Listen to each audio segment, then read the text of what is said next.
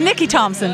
Why don't you just tell us a little bit about why you're here and so forth? Well, this was my idea, but I have a lot, a lot of people helping me with this. I've got all these talented bands playing for free, they're all friends of ours, and it's just kind of steamrolled into this huge festival that you see here today.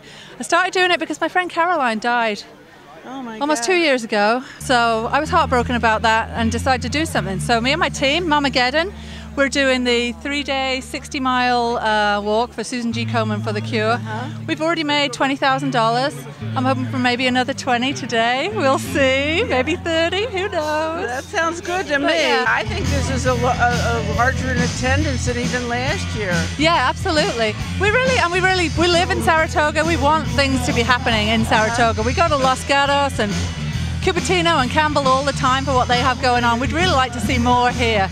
Want downtown revitalized, things for our kids to do.